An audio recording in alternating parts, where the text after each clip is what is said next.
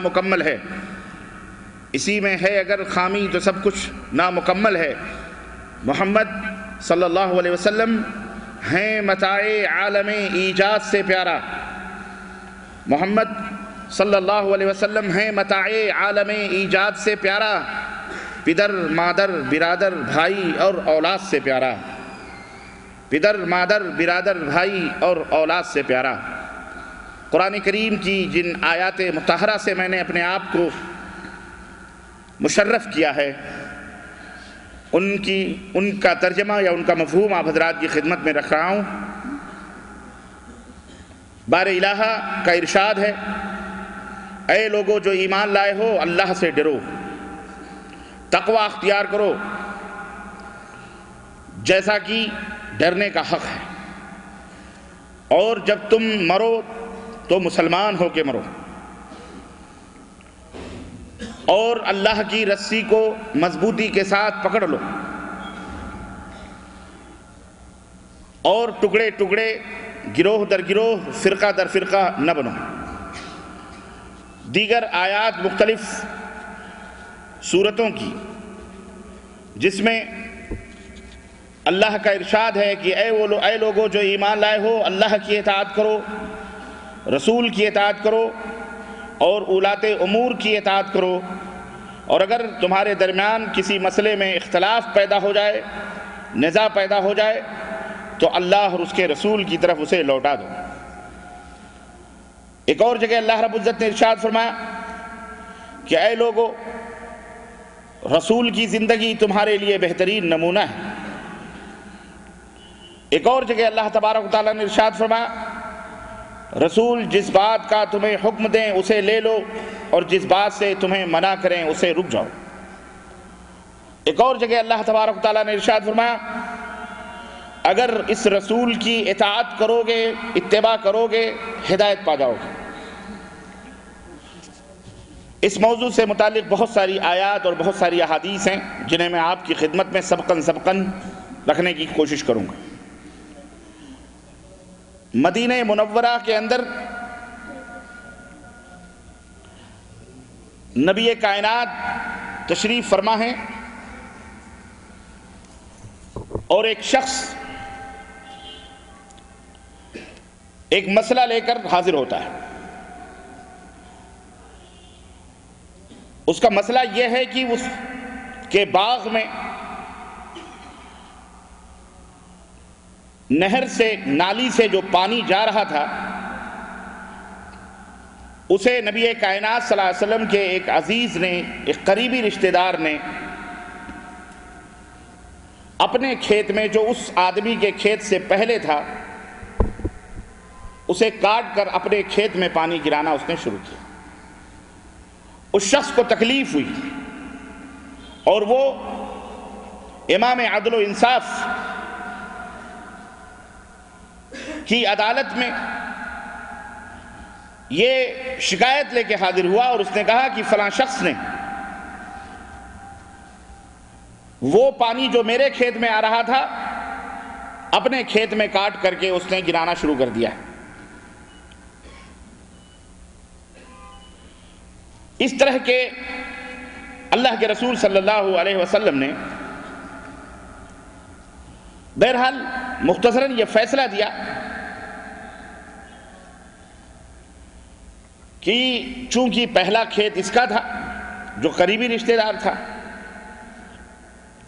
आपने उनके हक में फैसला दे दिया और कहा कि तुम्हारा हक पहले है, इसलिए तुम ये पानी अपने खेत में गिरा लो।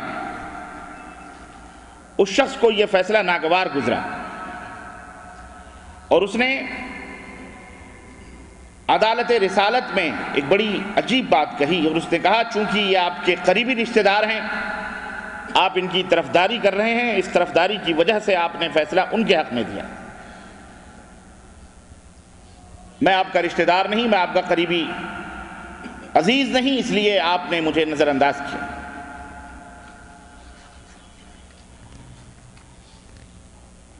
उसका यह कहना था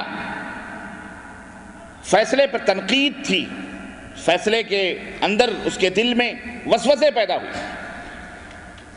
अर्श वाले को गैरत आई। और आयत करीमा नाजिल फरमाई, अल्लाह ने ध्यान से इस आयत करीमा को समात फरमाएँ और इसका तर्जमा, इसके तर्जमे, इसके मफहूम पर गौर करें। फला वरब्बी कला युमिनून हत्ता युहक्किमूक फीमा शजरा बैनहुम। सुम्मा ला यजिदू फ़ी हरजम मिम्मा कदैत व युसल्लिमू तस्लीमा ए मेरे हबीब आपके रब के आपके रब की रबूबियत की कसम वो मोमिन हो ही नहीं सकते जो इख्तलाफी मामलात में इख्तलाफी अमूर में आपको जज न बना लें, हाकिम न बना लें, फैसल न बना लें। फिर आप जो फैसला कर दें, उस फैसले को बसरो चश्म कबूल न कर लें, तस्लीम न कर लें। और इस तरह से तस्लीम न कर लें कि उनके सीनों में कोई वसवसा किसी किस्म का दगदगा न रहे। बसरो चश्म उसे कबूल कर लें, वरना वो मोमिन हो सकते, नहीं हो सकते। मेरे अजीज़ों, मेरे दोस्तों और भाइयों, कलम ला के दो अज्जा हैं। एक अल्लाह की तोहद पर कायम है और एक पैगंबर पैगंबर इस्लाम हज़रत मोहम्मद सल्लल्लाहु अलैहि की रसालत पर कायम मोहम्मद रसूलुल्लाह सल्लल्लाहु अलैहि मोहम्मद सल्लल्लाहु अलैहि अल्लाह के रसूल हैं। काजी अयाज रहमहुल्लाह ने अपनी किताब अशिफा के अंदर ये बात तहरीर फरमाई है कि नबी कायनात के ऊपर ईमान लाना और आपकी तस्दीक करना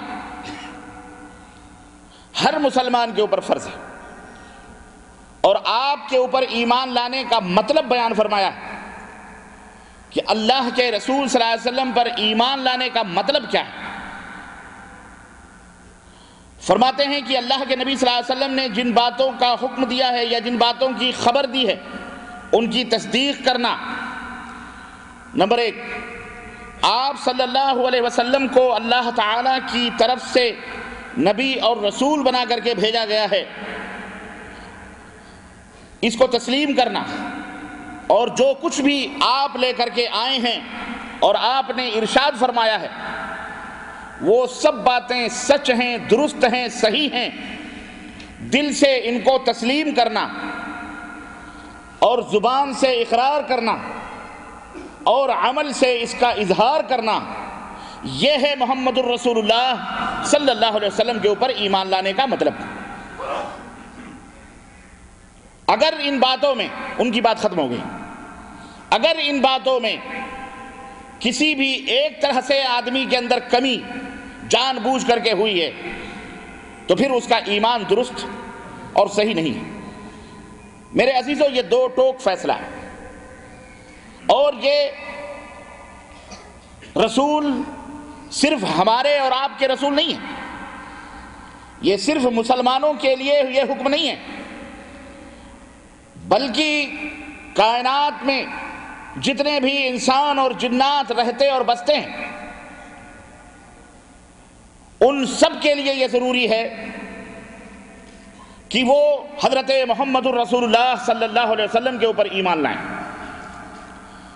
अल्लाह अज्जल ने कुरान करीम में इंसानों को मुखातब करते हुए इरशाद फरमाया, सारी कायनात के लोगों को, और अपने नबी को कहा, कुल या अयुहन्नासन्नी रसूलुल्लाह जमिया ए मेरे हबीब आप फरमा दीजिए कि दुनिया के लोगों मैं तुम सब का रसूल बना करके भेजा गया हूँ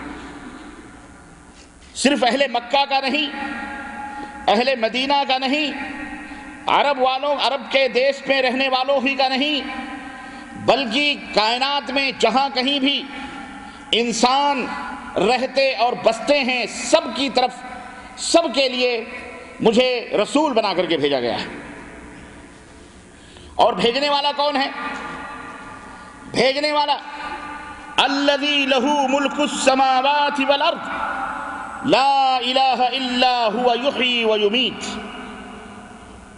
अपनी तरफ़ से रसूल बन करके, दावा करके वो रसूल नहीं है, बल्कि भेजने वाली वो ज़ात है।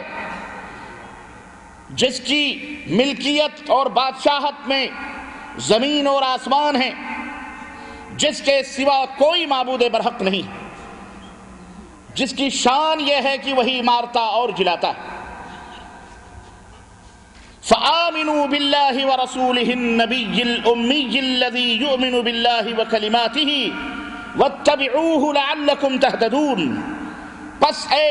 के लोगों, उस अल्लाह और उस रसूल के ऊपर ईमान लाओ, उस जो नबी है, जो उम्मी है, पढ़ना लिखना नहीं जानते, उम्मी है वो।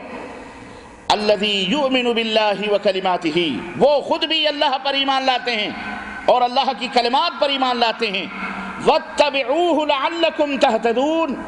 और एक कायनात के लोगों, उनकी इत्तबा करो। ईमान लाने के बाद वत्तबिऊहु उनकी इतबा करो, उनकी पैरवी करो। लअल्लकुम तहतदून, ताकि तुम हिदायत पा जाओ। आयत करीमा वाज है, साफ़ है कि अल्लाह के रसूल सारी कायनात के लिए रसूल बना करके भेजे गए। अल्लाह की तरफ़ से भेजे गए। और वो शान और वो अजमत और वो रिफात और वो मकाम लेकर के आए कि हिदायत को, रहनुमाई को सिरात मुस्तकीम को, जन्नत को, सब कुछ को अल्लाह ने अपने नबी की इतात पर मौकूफ़ किया है फर्मा बरदारी पर मौकूफ़ किया है। इसी में है, अगर खामी तो सब कुछ नामुकम्मल है। मेरे अजीज़ों, सुन्नत की अहमियत, कुरान करीम की इन आयात बैनात से वाज है। अल्लाह रब्बुल इज़्ज़त के इन फरमुदात से वाज अहले इल्म के लिए, अक्ल दानिश रखने वालों के लिए, अहले खरद के लिए जी होश लोगों के लिए अल्लाह की कसम इतना ही काफ़ी है। ज़्यादा दलाइल की ज़रूरत नहीं। क्यों? मैं किसी उम्मती के, की शख्सियत या उसके पीछे चलने की दावत न अल्लाह दे रहा है, न रसूल दे रहे हैं और न मैं दे रहा हूँ। वो शख्सियत सारी कायनात में सबसे आला और अफजल है। वो शख्सियत जिसके बारे में किसी को कोई इख्तलाफ नहीं। मैं उनके पीछे चलने की दावत दे रहा हूँ। और उनकी तमाम आदतों, उनकी तमाम सुन्नतों, चाहे वो कौली हो, चाहे वो फैली हो, चाहे वो तकरीरी हो, तमाम सुन्नतों के ऊपर अमल करने की दावत दे रहा हूँ। इसलिए अल्लाह रब्बुल इज़्ज़त के इन आयात बैनात पर अगर मैं अपनी तकरीर ख़त्म कर दूँ और अपनी बात यहीं पर बंद कर दूँ तो एक अक्लमंद मुसलमानों, अक्लमंद लोगों के लिए काफ़ी मगर अफसोस इस बात का है कि शैतान ने हमें न जाने कैसे कैसे वसवसों और न जाने कैसे कैसे शुभात के अंदर मुलविस किया हुआ है।